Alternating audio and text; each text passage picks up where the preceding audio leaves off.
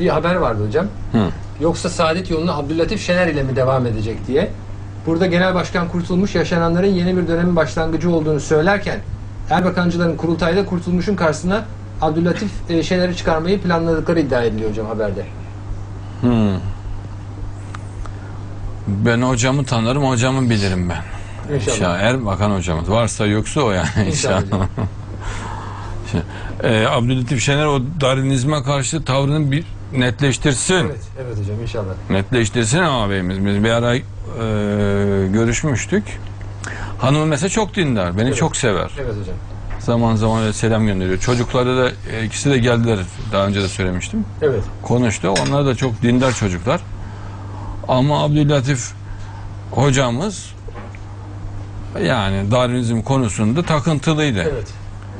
Son durumunu bilmiyoruz. Evet. Ona bir Allah rızası için netleştirsin, güzel bir demeç versin şöyle basına. Evet. Ta oralarda bizim kulağımıza bir gelsin. Darwinizm bitmiştir, Evet. materyalizm bitmiştir diye duyalım. İnşallah. Yani mesela bir proteinin tesadüfe meydana gelemeyeceğini bilimsel olarak açıklaması lazım. Evet. Bir. İkincisi hiçbir ara fosil olmadığını, Evet. değil mi? Bunu da açıklaması lazım. İnşallah hocam.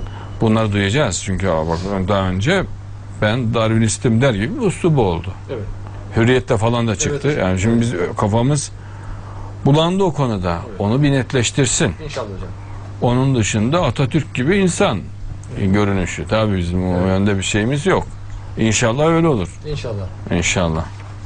Ama şu Darwinistik aman aman aman aman o mutlaka netleşmesi gerekiyor. O, İnşallah. biz orada Evet. e, hocamızla biraz e, zıt düşünüyoruz gibiydi. Evet. E, onu da güzel haberler de duyduk ama ben bir kulağımla şöyle bir net duysam çok iyi olur. İnşallah hocam. Özellikle basın veya televizyon kanalıyla duyarsak daha iyi olur. Çünkü ben, bana dese ki evet Darwinizm yanlış doğru benim kanaatim var ama bunu halkın duyması çok önemli. Kitlenin, toplumun duyması çok önemli. İnşallah. Evet hocam. Hürriyette değil miydi o geniş çaplı Evet açıklamıştı? hocam. Dediğiniz gibi o şekildeydi. Evet.